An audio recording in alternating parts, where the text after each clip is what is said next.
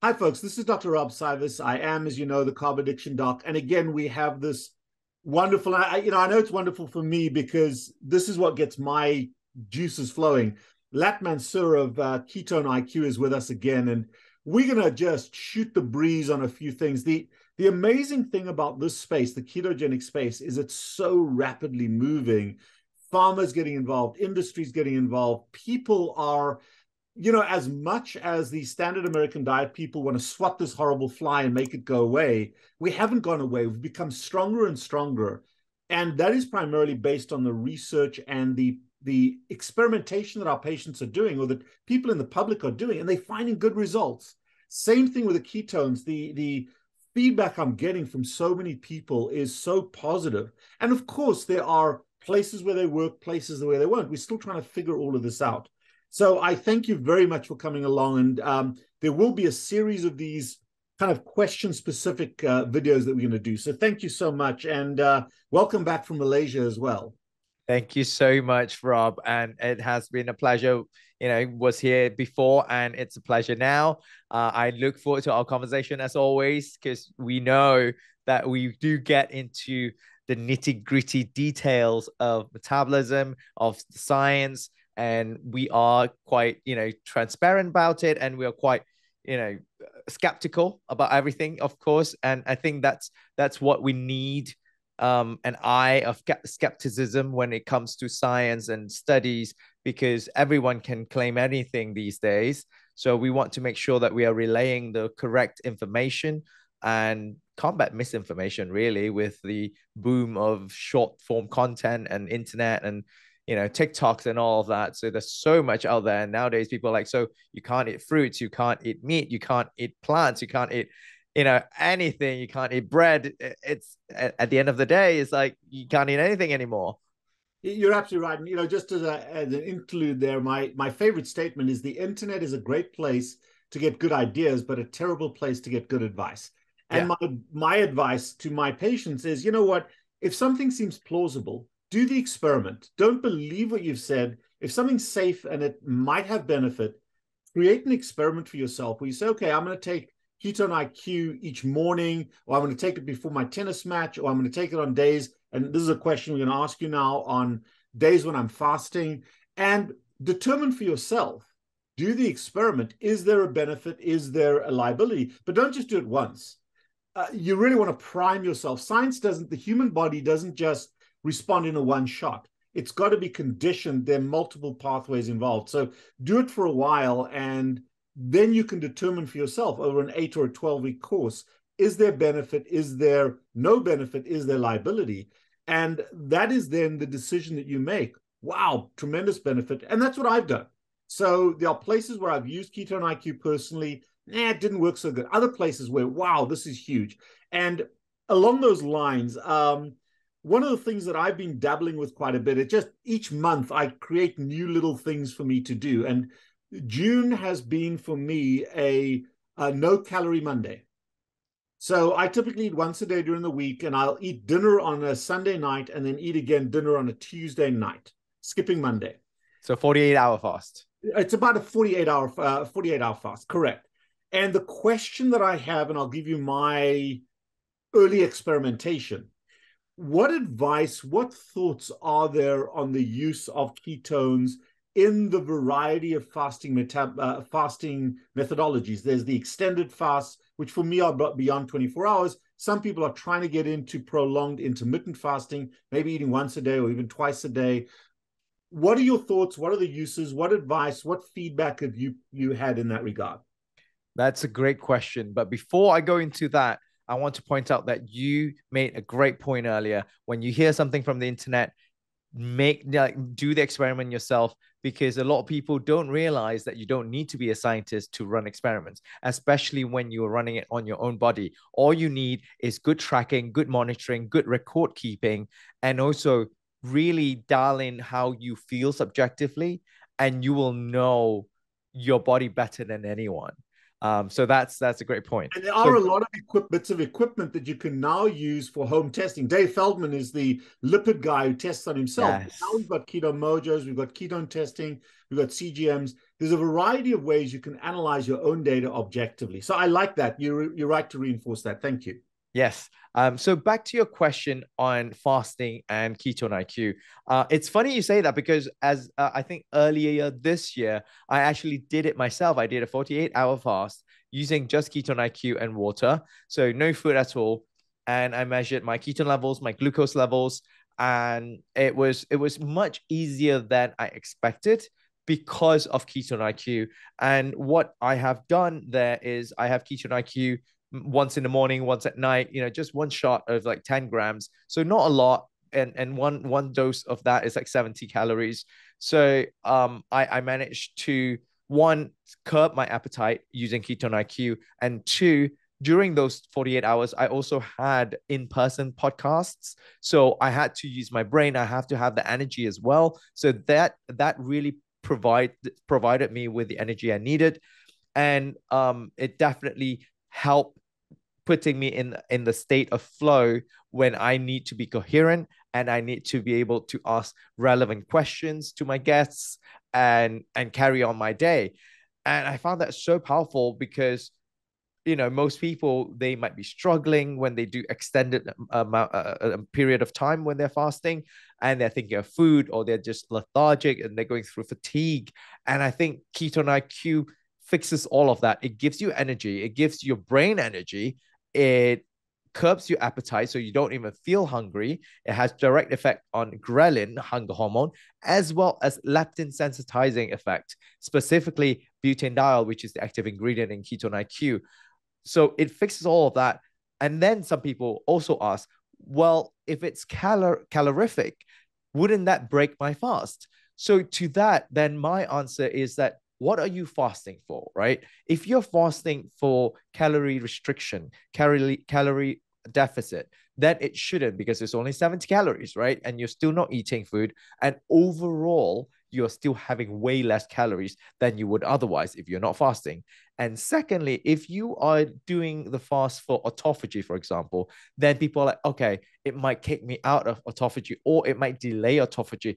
But then let's go back to metabolism. Let's go back to the science real quick here.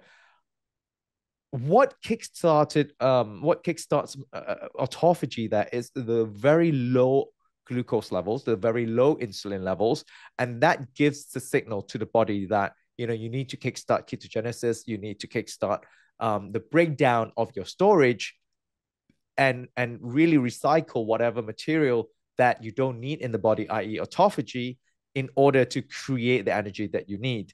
So ketone IQ, one, not only it does not increase glucose level, it actually has been shown consistently to drop glucose, blood glucose level about an hour after you have it to about 50 points.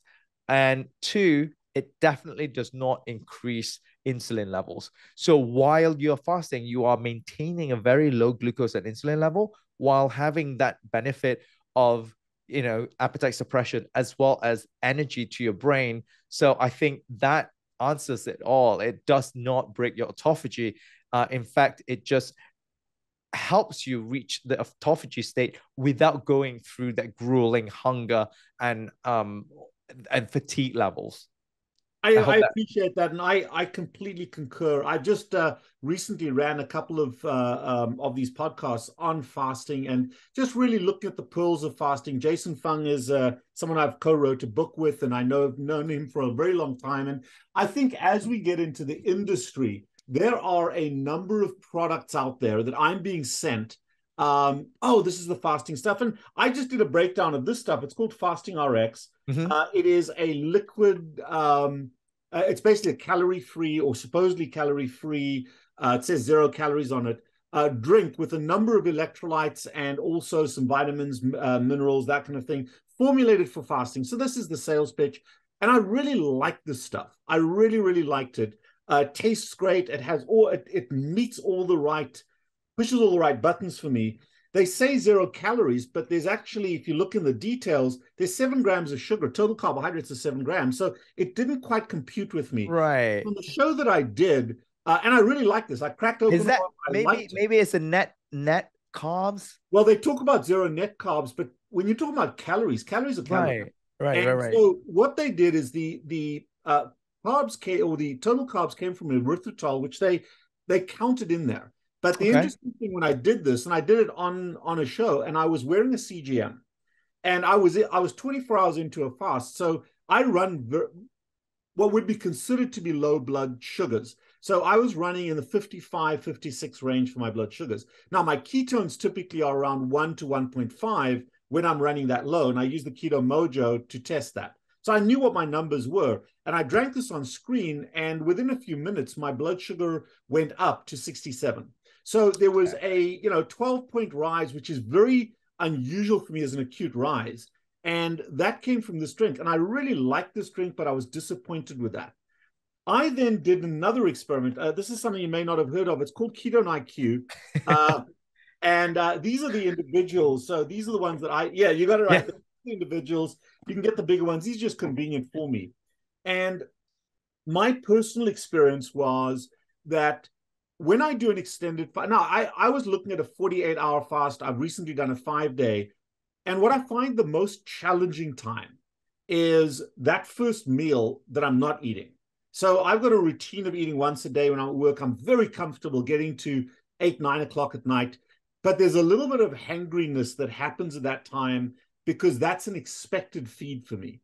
Mm-hmm. And if I do a ketone IQ, it bridges me across that. I actually do my ketone IQ now, and I use a big mug of bone of uh, bone or beef broth, and I throw salt in there. I throw about five grams of Redmond salt in there, okay, which is my electrolyte requirement. And what I've found is the paradox is that my blood sugar does not move. So there's no change in my CGM. If anything, it might even go down a point or two if I'm running slightly high. Now, when high for me is above 70 um, which I know is, is is a bit odd out there. Right. But the other part is that within about an hour, my ketones go super high. They go up into the four to five range, uh, which is okay for me. I'm okay. I don't want to go higher than that. Right. And I, I, I tend to drift down. I also go for my run in the evenings on these days. So I'm fasting with a run. And what I found is number one, it bridges me across any need to eat. So it gets me across that most difficult meal, which is the first one I skip. Secondly, because it gets me into ketosis, it makes that run a little bit easier. And on the run, I can actually bring my key. Now, look, running for me is like other people could walk fast beside me. I'm not a an athlete, but it does help me to get into ketosis. Why am I doing all of that? Because the purpose of my fasting is to get into deep ketosis to be able to burn some fat, to, to drop or manage a little bit of weight. That's not the primary indication, but really to put my cells into what I call utilization phase, which is when we eat, you go into storage phase dominated by insulin, growth hormone, testosterone, T3. Then you flip over and you store that food, and now your cells are making a demand for energy. And I want to redirect them to using ketones and fat as a primary energy source and I can augment that with a ketone IQ. So for me, that has been a wonderful time to do that. And then at the 48 hour mark, I may take it again. So that corroborates what you were just saying. And certainly from a, a, a nutritional benefit perspective, I'm not certain about the autophagy. I know it's happening, but that's what's leveraged me across there. And so I just wanted to hear what you guys had, what experience you guys have had with fasting. But for me, that's one of the big benefits of Ketone IQ right now as that bridge and just to have it available when I want something. And the caloric load does not affect me in any way. Right, exactly. And I think in the long run, a lot of people are like, oh, isn't that cheating? Or I'm not I'm not burning my own fats for ketones. Ultimately, it's 70 calories. You can burn that off right away, you know, in a few hours, even when you're sitting down. So what it does, it, it does upregulate the uh, enzymes and transporters related to keto metabolism when you have it acutely. So when you swap back to your endogenous ketone, whenever you use up the exogenous ketone, you are primed and ready to metabolize your endogenous ketones. actually, Rob, you you you pointed out a good good point around electrolytes when uh, people go fasting, and I, we get a lot of questions around this as well. Electrolytes. What people often have problems with is not sodium, right? Because they can get sodium easily. What they usually have problems with is potassium. What, in your opinion, um, is a good source of potassium when people are fasting? Um, you know, to to get that source of potassium. Well, I, I think the the best place to do this, and when I do run or I do exercise, I will use one of the electrolyte mixes that have by design a high level of of um, potassium without any carbohydrates or any sugars in them. And the two that I like are the LMNT and the Re-Lyte. I personally like the Re-Lyte. Um, so that is one of it's just a personal choice of of utilization. But I agree with that. However, having said that, if you are using if you are supercharged with salt, remember that 96% of your potassium is intracellular, whereas about 90 plus percent of your sodium is intravascular. And if your body is trying to get rid of slightly excess salt, and it does throw in the colon in the kidneys in the in sweat, then um, as you get rid of that salt, you spare potassium. So it's not just the adding potassium to the system, it's extracting it from your cells and sparing it so that you're not exchanging. If you're low on sodium, you're exchanging sodium and potassium at a renal level, Got at a kidney level. So you want to keep, absorb the potassium, exchange it for sodium in the kidney, and also extract the um, potassium using sodium potassium channels in the cells. So I really rely primarily on my potassium, my, my endogenous potassium, but you got to get it from the cells into the bloodstream. And then you can supplement with some of the electrolyte mixes that are specifically designed in the space. And I think that combination, because getting yourself into ketosis, whether it's exogenous or endogenous, the, ex- the exogenous is an accelerant toward glucagon and cellular demand. So it really just accelerates what you're looking for with a fast, which is to be in a state of ketosis and exactly. to have the fat cells be releasing fat, sending it to the liver to break it down into ketones. So that really is the effect.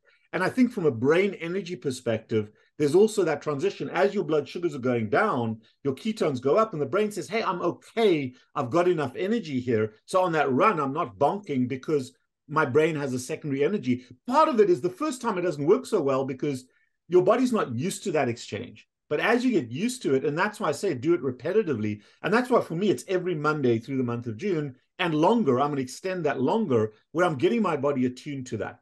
So I, I think that is such an important space. And I think fasting has had its own entity where you can eat what you want to, but fast. And I don't think, in my opinion, that's the right approach.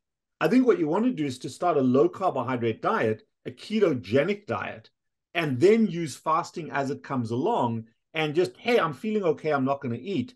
And the ketones help you to bridge, the exogenous ketones help you to bridge across that. So that is our philosophy. And we like fasting um, for certain people. Now, people that are underweight, people that are tremendous athletes, they may not benefit from that prolonged fasting. But we can go into that at another time but that is an excellent summary from both of us uh, and, and that's what i like about these discussions is we're able to share that knowledge. Absolutely